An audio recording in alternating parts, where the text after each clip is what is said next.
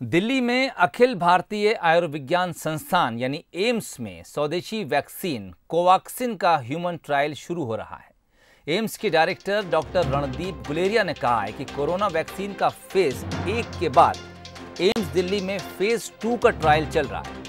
ये एक निष्क्रिय वायरस है, जिससे मानव जीवन की रक्षा की जानी है। डॉक्टर रणदीप गुलेरिया के मुताबिक ट्रायल में हिस्सा लेने के लिए काफ़ी लोगों ने रजिस्ट्रेशन कराया है। अभी तक 1800 वॉलंटियर्स ने रजिस्ट्रेशन करा लिया है। 18 से 55 साल तक के स्वस्थ लोगों को ट्रायल के लिए चुना जाएगा। शुरू में कुल 1125 स्वस्थ लोगों के सैंपल लिए जाएँगे। फ़ेज़ वन में 375 लोगों पर ट्रायल होगा। 100 स्वस्थ वॉलंटियर्स का चुनाव किया जाएगा।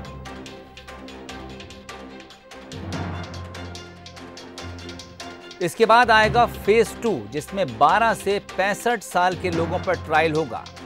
एम्स के डायरेक्टर के मुताबिक कोरोना वैक्सीन के ट्रायल के दौरान लोगों को कई डोज दिए जाएँगे।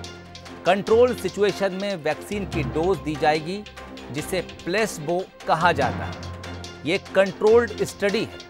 वैक्सीन का डोज दिए जाने के बाद वॉलंटियर्स की निगरानी की जाएगी। अगर कोई साइड इफ़ेक्ट नहीं हो रहा है तो डेटा मॉनिटरिंग बोर्ड इसका डेटा तैयार करेगा। अगर ये लगेगा कि ये वैक्सीन सुरक्षित है तो फिर आगे स्टेप बढ़ाया जाएगा और डोज की मात्रा बढ़ाकर कुछ और परीक्षण किए जाएँगे।